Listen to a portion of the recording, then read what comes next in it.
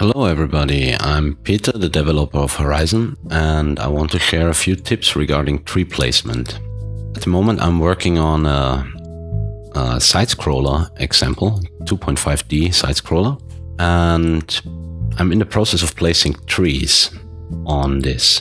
So what I did here is I created a strip with Horizon where we can move the camera along in this way and I disabled the, uh, the further away parts, duplicated it and created uh, colliders for this.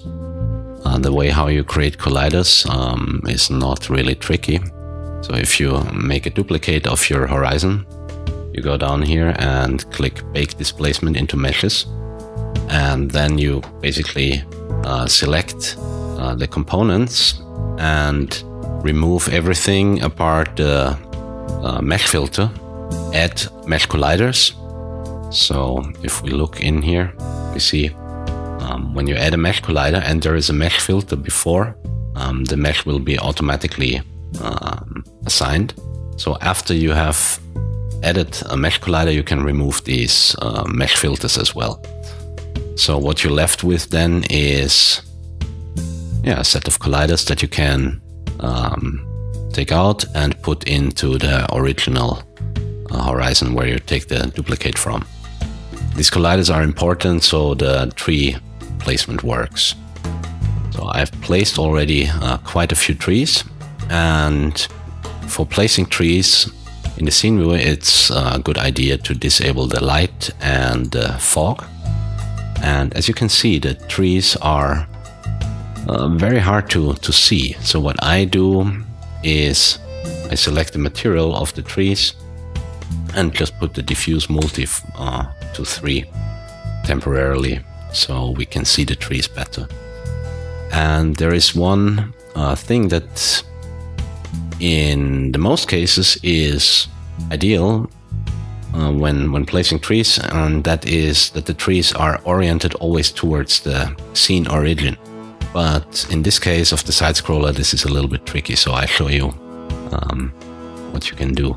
I start a new uh, tree group and paint a little bit here and uh, explain what my, my workflow is.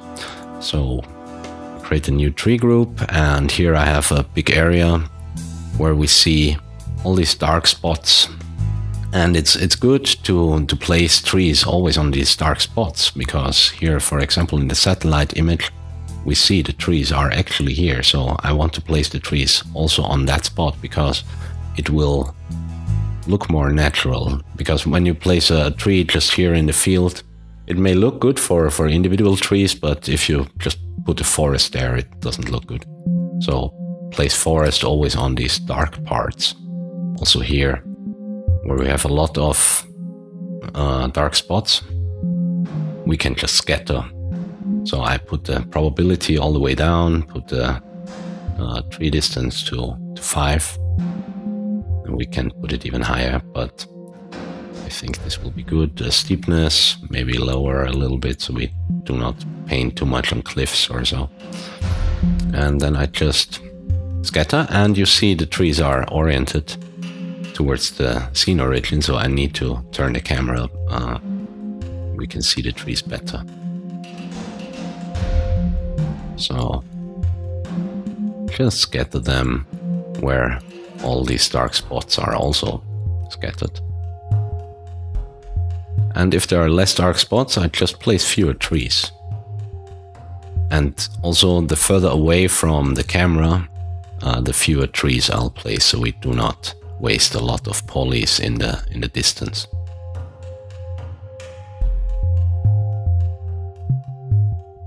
Here we have a lot of dark spots, so here I can put more dense forests.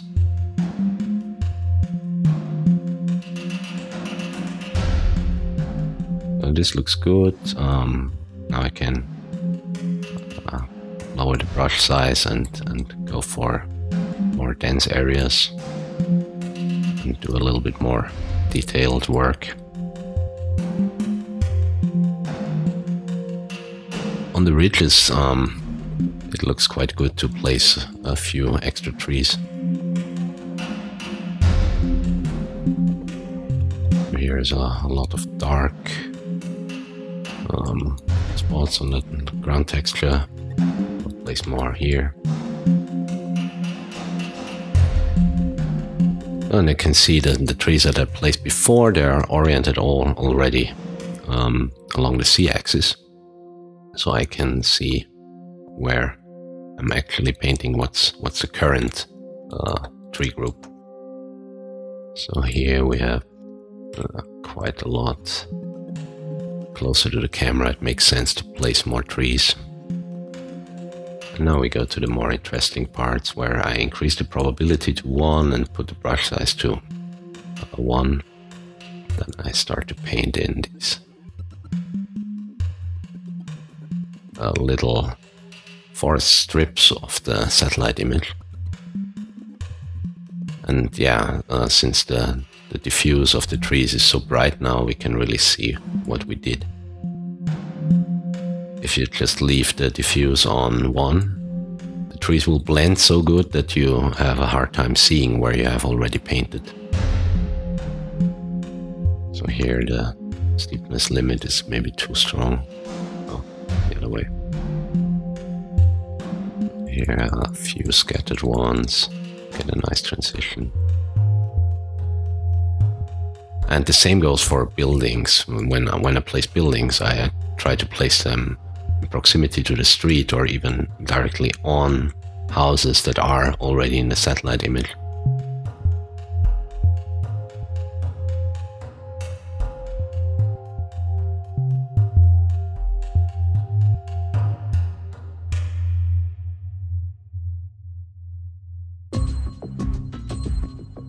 It can take some time to fill a horizon, but you're not doing that very often. So it pays off to spend a little bit extra time here because, yeah, the visual difference is quite big. And it makes sense to, as an artist, to spend the time there where it's doing a lot of impact. Here we have a big forest area, so we can have a high probability and a bigger brush size and then just put the trees in. As well. We'll bring the brush size down, maybe paint the outlines a little bit more exact.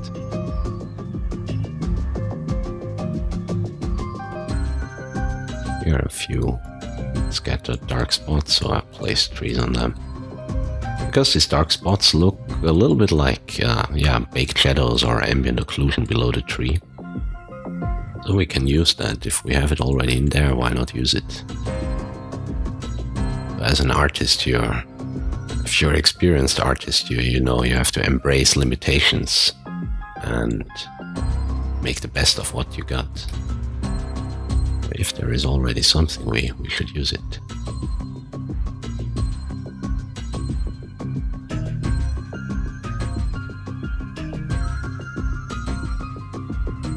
we see, okay, our word count, we're close to the end of this mesh, and I want to have this group roughly uh, a square. So we need to budget within each group a little bit. And we, we still have a little bit of room here to place more individual trees.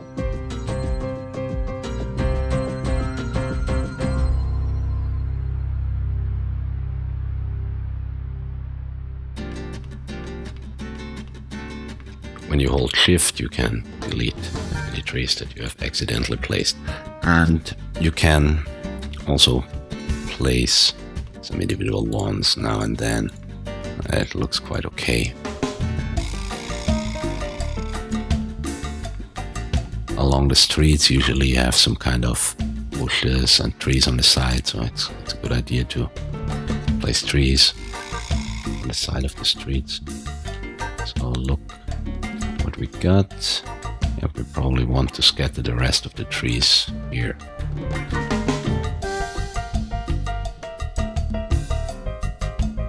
So finish this area here. Maybe we need more ones.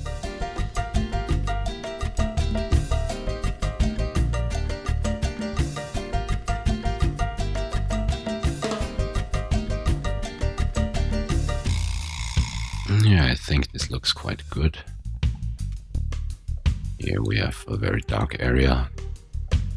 There as well.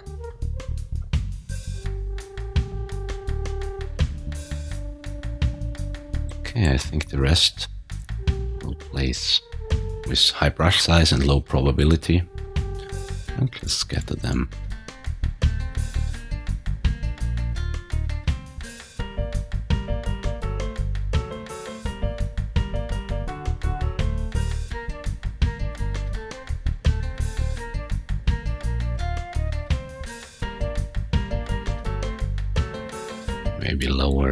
Steepness. We do not paint too much on cliffs. And here we have a lot of bright uh, grass. So we do not want to place too many trees on it. Here is dark grass, so here we can use more trees.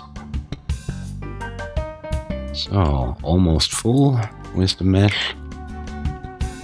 We have a nice area in case the mesh is full before we have a nice shape like now. We can of course delete a few trees.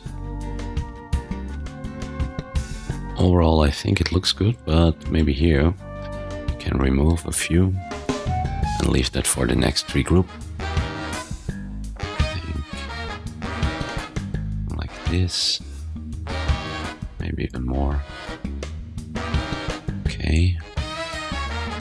So now we can spend these remaining trees to make some areas more denser with a smaller brush size, higher probability, and then I just look for these dark spots and try to increase the density.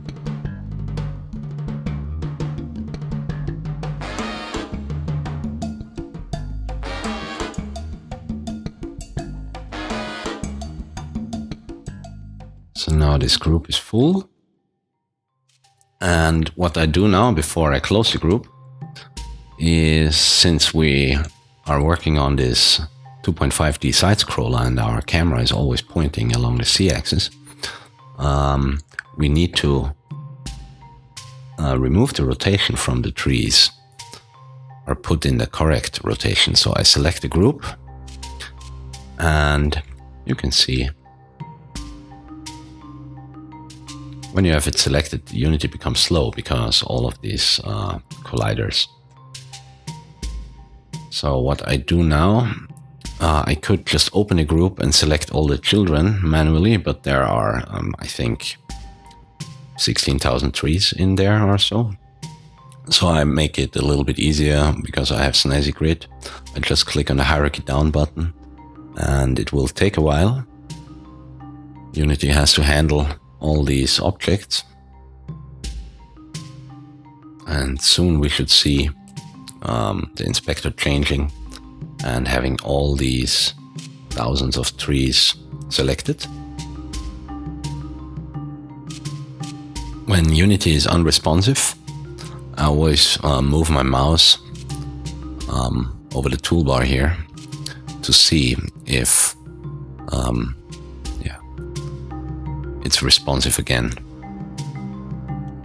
Because when when it's uh, working and you click around to see if if if you can do something, you might screw things up.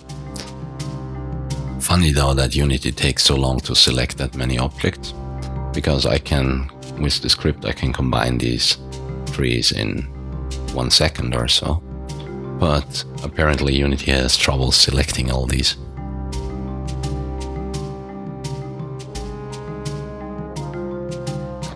Now here we are.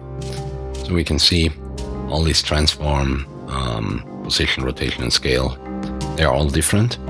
So I click in the Y rotation of these trees. Type in 180. Come on, Unity. I hit enter. And then I select the parent again. Where we could just scroll up and click here. Or if we have Snazzy tools, we can just click hierarchy up. And now we can close this group and click on continue painting. and close the current tree group and combine. And now it's combined with the corrected rotation and Unity is responsive again. So we can continue working. So I think with one more mesh I have this entire strip uh, painted. I will just work along and give you a time lapse. Oh, let's do it.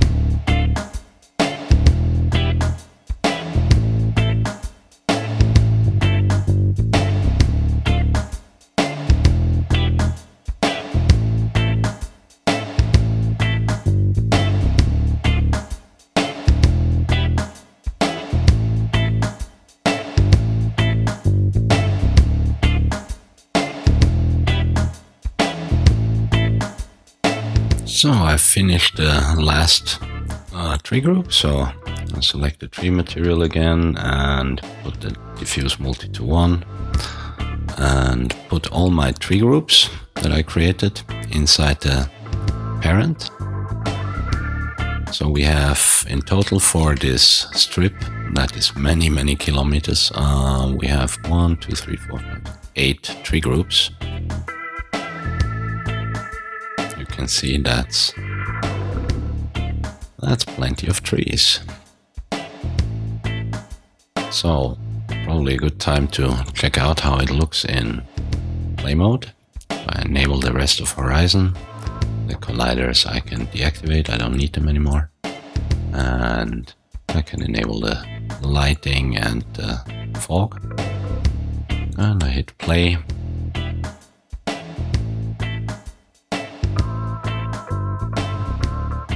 Yeah, looks nice. And oh, I shouldn't right click. This will screw my camera because this um, camera controller is still set up for the example scene. So I need to put my camera back where it was. Um, probably up and uh, we don't want to zoom.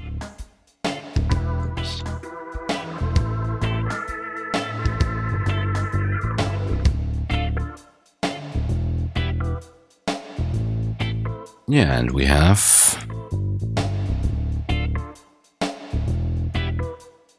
I think minus 7500 we can start and then we can move the camera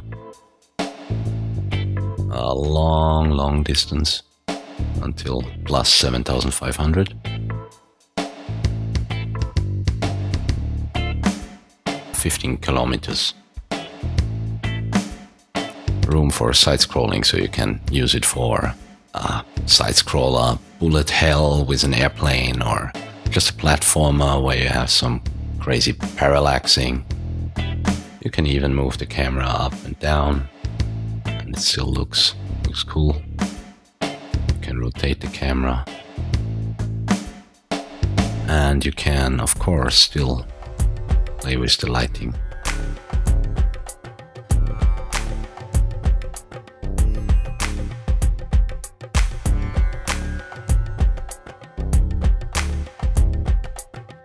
Production you would put some image effects like color correction and so on top. But this is completely without image effects. So what I would do with the image effects in this case um, probably put a little bit more contrast and brightness in.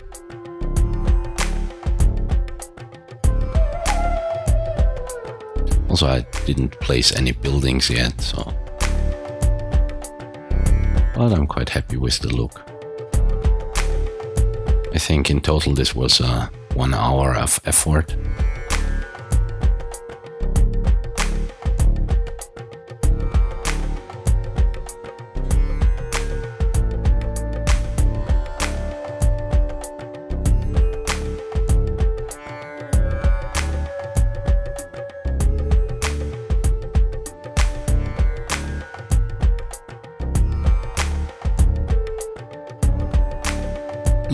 This gives a fantastic background for a side scroller. Just need to put the foreground in and yeah, put it on Steam and sell it and get rich. I wish you good luck with that. Um, yeah, the final result I will um, put in a separate video where I go in detail about doing side scrollers and probably also I do infinite runners and whatnot. There is there are countless possibilities with Horizon.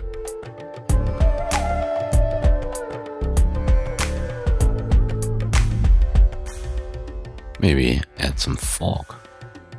Oh yeah, that's, that looks nice. Oh, I love it.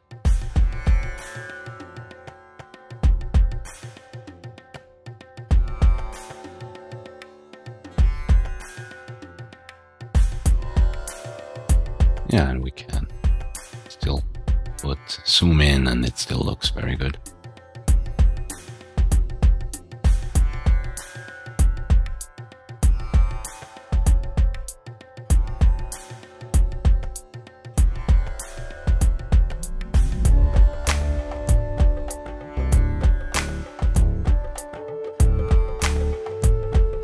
So you can see Horizon is not only for having a square single terrain in the middle, you can be totally creative. You can also use like uncommon uh, terrains, terrain shapes, like having it 10 by 2 or whatever.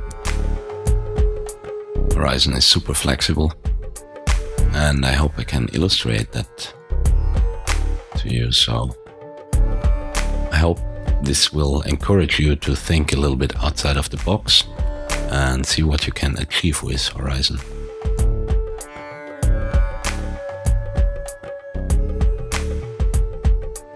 Trying a few different perspectives here.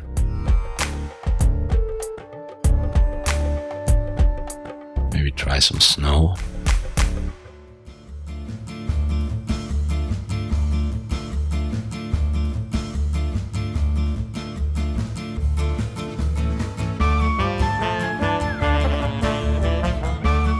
Maybe a little bit of front lighting.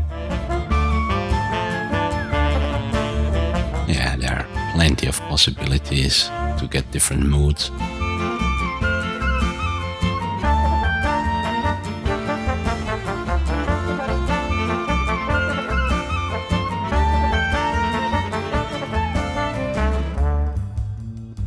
Okay, so much for tree placement. I hope you liked this video. Um, let me know if you have any questions and see you soon.